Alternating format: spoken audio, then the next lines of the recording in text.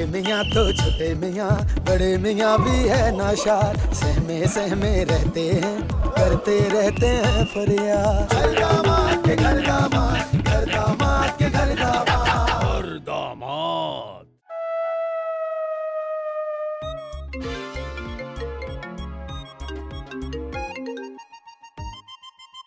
Hello? अरे फरहाद साहब।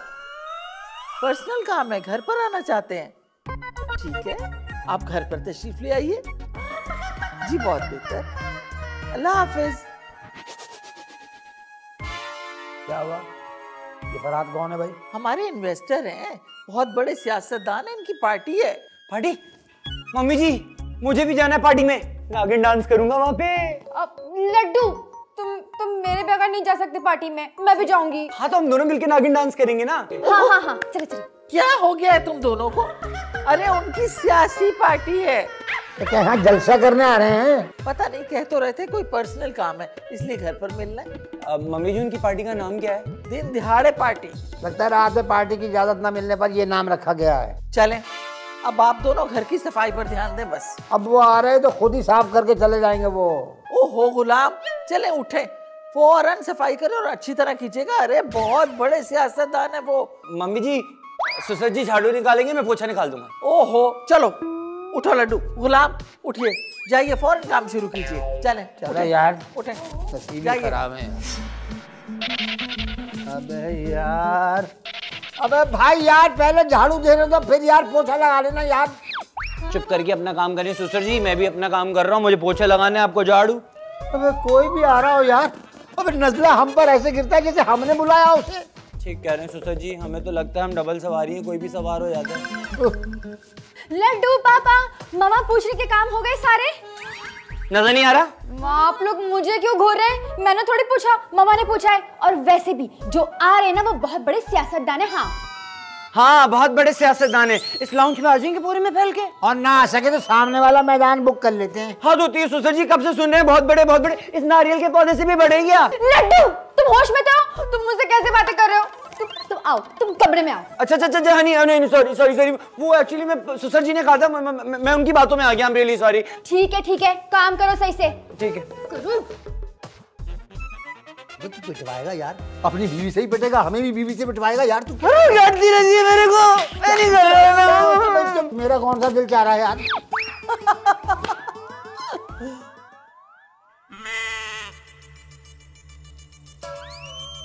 कौन हो भाई तुम? लगता है बेचारा अंधा है। छड़ी कहाँ है तुम्हारी? हाँ भाई। सिक्योरिटी सब क्लियर है ना? कौन सा है एतमाद फरहाद फरहाद? हाँ फरहाद साहब। आइए आइए आइए। तशरीफ़ रखिए बैठिए बैठिए।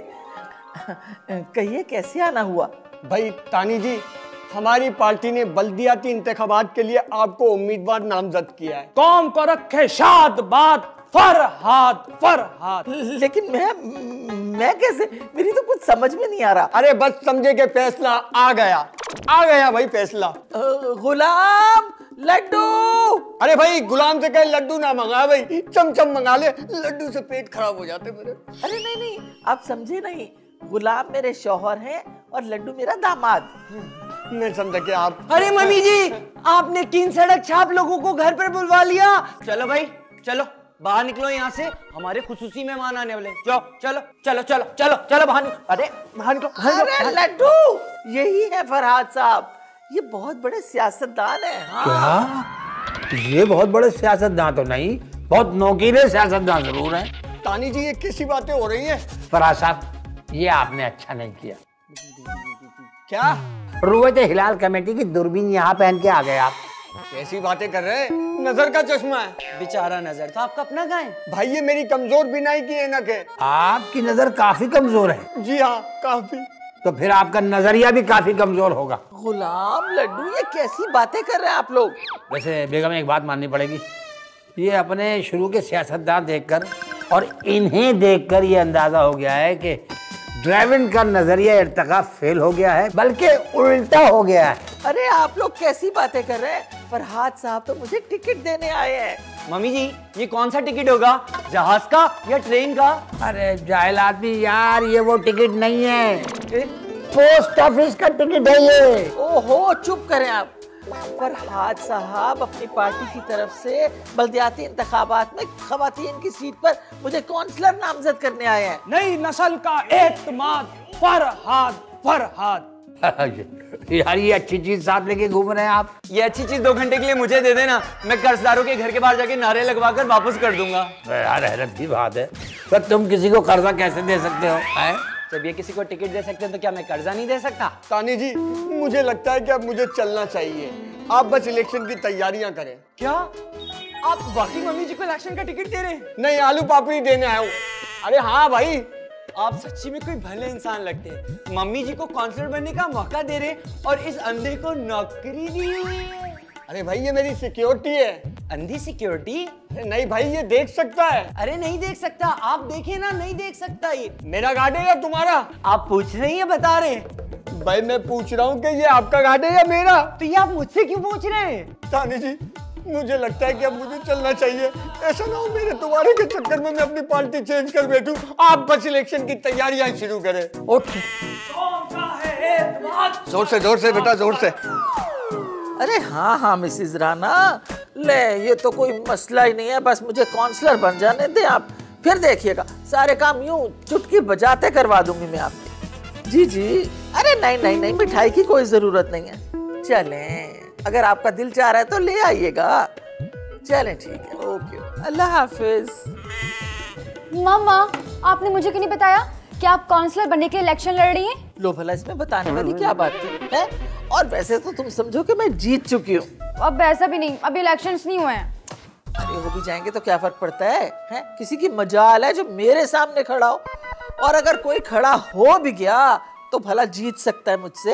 बेगम यहाँ फिरौन के लिए नहीं काउंसलर के इलेक्शन हो रहे हैं। आप यहाँ क्या कर रहे हैं? अब जब नो गो एरियाज़ खत्म हो गए तो ये सवाल बेमानी हो गया है। पापा ये सब छोड़िए। अच्छा मामा आप मुझे ये बताइए कि आप काउंसलर बन के सबसे पहला काम क्या करेंगे? हाँ ये हुई बात। सबसे पहला काम तो मैं ये करूँगी कि इलाके के जितने भी घरों में बेटियाँ हैं ना वहाँ घर दामाद रखने का रिवाज नाफिज करूँ। क्या कह रही है बेगम? हाँ ना। इससे ये होगा कि बेटियाँ अपने घरों में माँ बाप के सामने रहेंगी और लड़कों को रोज़गार भी मिल जाएगा। क्यों? और लड़की वालों के सर पे से जहेज का बोझ भी कम हो जाएगा और लड़कों के घर वालों की माएँ बहनें भी घर में सुकून से रहेंगी। अरे दूर की कौड़ी लेके आए बेगम आप लेकिन देखा जाए तो ये बात कुछ ठीक नहीं है। अरे कैसे नहीं है? लो बताओ। अगर मैं शादी होके आपके घर चली जाती तो क्या होता? अरे आप खुद भी भूखे मरते और मुझे भी भूखा मार देते। यहाँ पर कम से कम दोनों सुकून से रह तो रहे हैं। हाँ मामा आप बात तो बिल्कुल ठीक कह रही हैं। और क्या? अब आप अपनी हनी और लड्डू को ही देख लें। अच्छा बेगम मैं चलता हूँ। मुझे ज़रूरी काम से जाना है। है है है। आपको और ज़रूरी काम? कहाँ जाना है? किचन में खाना पकाने जाइए जाइए। मम्मी जी मम्मी जी मम्मी जी। मे, मे, मेरे दोस्त के भाई को ना पुलिस वालों ने पकड़ लिया। आप थाने में फ़ोन करके उसको रिहा करा देना। अरे लड्डू मैं अभी काउंसलर बनी थोड़ी हूँ। तो आप उनको कॉल करके कह दें मैं मुस्तकबिल की बनने वाली काउंसलर बात कर रही हूँ। लड्डू क्या हो गया? मेरी मम्मा से कैसे कैसे काम करवा रहे हो तुम? सॉरी हनी लेकिन मैंने ना पूरे मोहल्ले में ये खबर फैला दी कि हमारी मम्मी जी ना काउंसलर बनने वाली है। इसलिए सब अपने मसले लेके मेरे पास आ रहे हैं।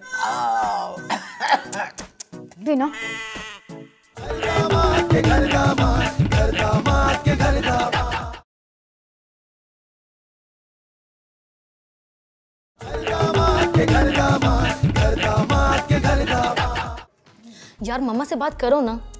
क्या यार? अभी मेरी मम्मा कोई काउंसलर बनी थोड़ी है। अभी तो उन्हें सिर्फ़ और सिर्फ़ टिकट मिला है। अच्छा काउंसलर बनने के बाद मेरा काम करा देंगी ना? ज़ाहिर सी बात है बस एक बार उन्हें बनने दो। फिर देखो तुम्हारे तो सारे मसले हल। ठीक है। चलो ना जूस पियो। तेरा बाप तो बड़े बड़े फ़ोन दिला रहा है तेरे को। यार लड्डू। बोल डड्डू। मैंने सुना है तेरी सास इस इलाके की काउंसलर है। अबे अभी बनी नहीं बनने वाली है। अबे यार मेरे घर के बाहर एक ऐसी बिजली का खंभा है। हटवा देंगे हटवा देंगे खम्बा भी। नहीं यार हटवाना नहीं है। वहाँ एक लाइट लगवानी है। यार दो दफ़ा मेरे अब्बा अंधेरे की वजह से गटर में गिर गए। तभी तो मैं बोलूँ हमारे इलाके के गटर क्यों जाम हो जाते अबे नहीं यार वो तो फ़ौरन निकल आते हैं। लाओ पाँच सौ रूपए। क्यों? क्यों लाइट नहीं लगवानी? हाँ। अबे यार ये ले। अच्छा ठीक है वो वैसे अगर तुम कहो तो गटर का ढक्कन भी लगवा सकते हैं उसके लिए हज़ार रुपए लगेंगे। अबे वही गटर का ढक्कन बेच के ही तो पैसे दे रहा हूँ। तू भी ना यार। मेरे अज़ीज़ मोहल्लेदारों गरीबों भूखों अरे मैं तुम लोगों के बहुत काम आऊँगी। हाँ। मम्मा ये आप कैसे तकरीर कर रही हैं किसी के दिल दुखाने वाले? दिल दुखाने के लिए क्या मतलब? ज़ाहिर सी बात है आप गरीबों को गरीब बोलेंगी और भूखों को भूखा बोलेंगी तो वो लोग बुरा मान तो जाएँगे ना। और ये बताइए किसने लिख के दिया आपको ये तकरीर? अरे वो तुम्हारे पापा ने लिख के दी है। लो जी हो गया काम उनसे लिखवाया है आपने। बस मुझे तो पहले ही पता था कि गुलाम कभी कोई अच्छा काम नहीं कर सकते। गुलाम गुलाम! जी जी जी जी बेगम जी बेगम। आ, क्या हुआ? आपकी तकरीर की तैयारी हो गई?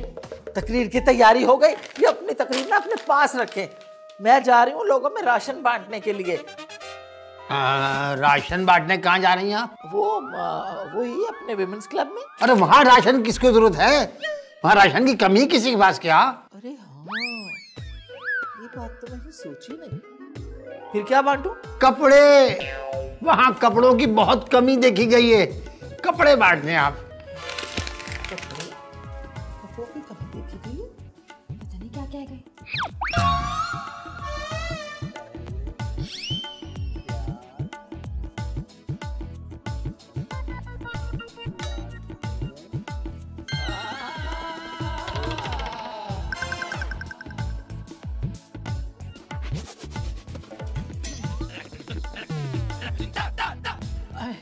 क्या कर रहे हैं आप?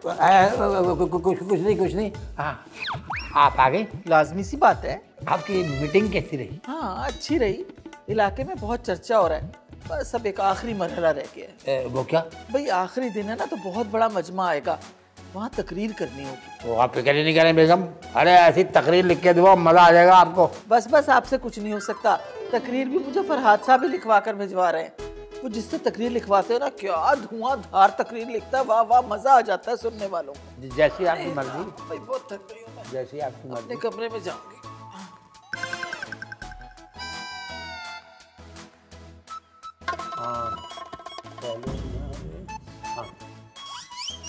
पहले चाय ले जाए।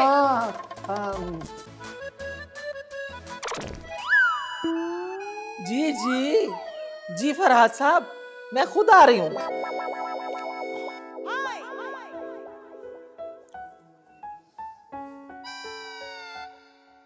जी हाँ जी हाँ बिल्कुल बिल्कुल, सारी बात समझ गई हूँ मैं। क्यों नहीं क्यों नहीं? जी जी, आपकी तकरीर वाला पर्चा भी मिल गया है मुझे। जी, अरे, आप बिल्कुल बेफिक्र हो जाएँ। इलेक्शन मैं ही जीतूँगी, आप देखिएगा। ठीक है, अल्लाह हाफिज। मम्मी जी आपसे मिलने के लिए बाहर कुछ लोग आए। अच्छा तुम उन्हें ड्राइंग रूम में बिठाओ मैं अभी आती हूँ। ठीक है। लो तानी बेगम इलेक्शन हुआ नहीं लोग मिलने पहले ही आ गए। अबे अरे तेरी की ये मेरे अचार गोश्त की तरकीब वाला पर्चा ये रह गया अभी कोई फेंक देता। अच्छा वो बच गया।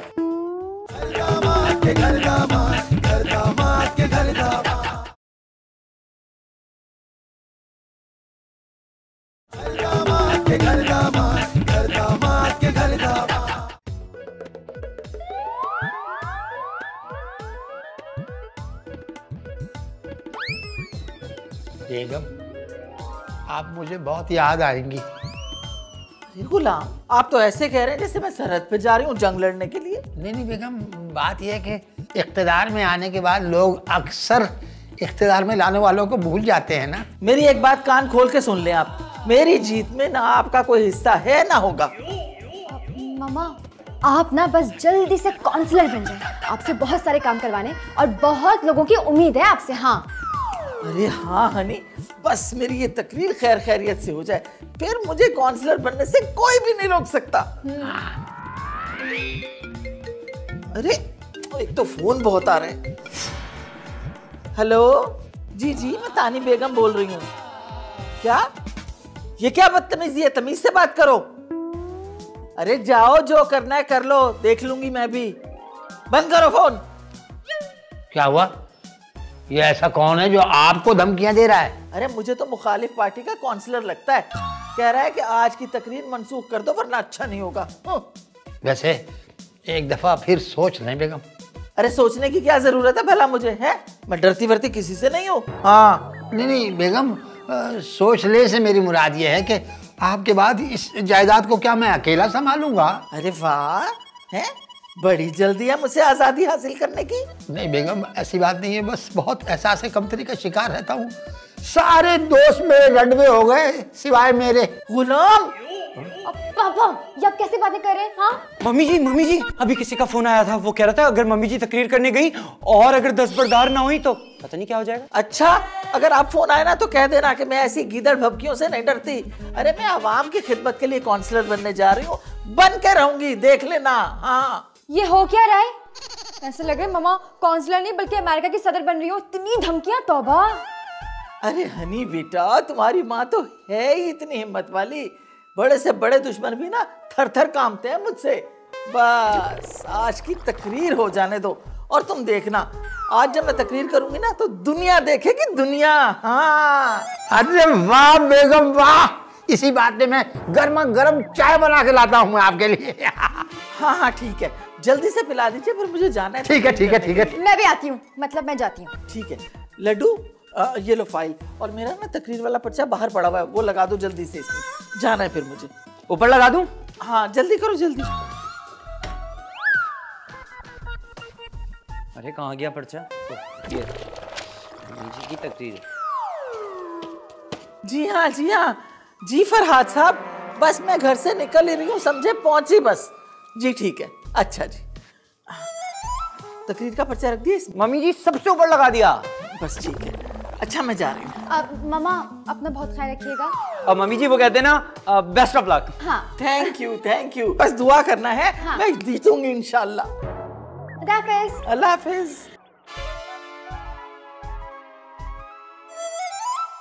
कहा हैं?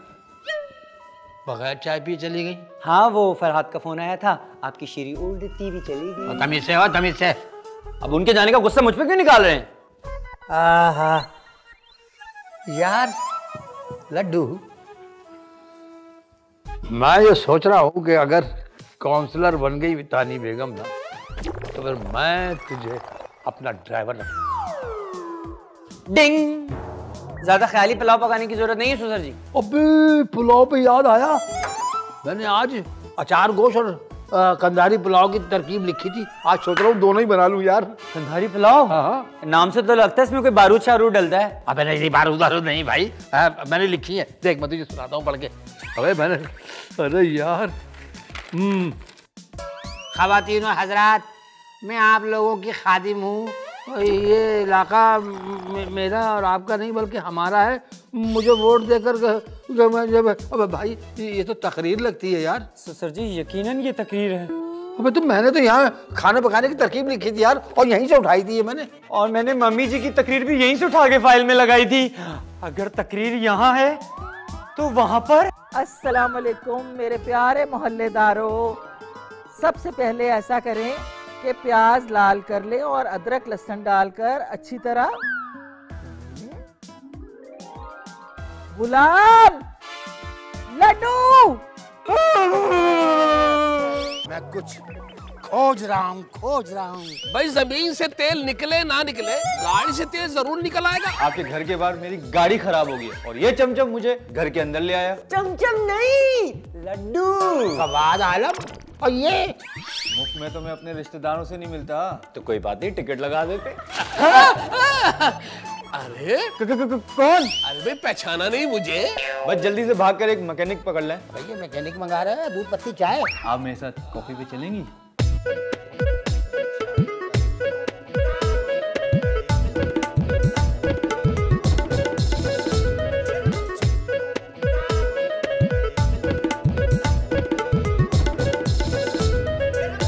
मियाँ तो छोटे मियाँ, बड़े मियाँ भी है नाशा सहमे सहमे रहते हैं, करते रहते हैं फरिया घर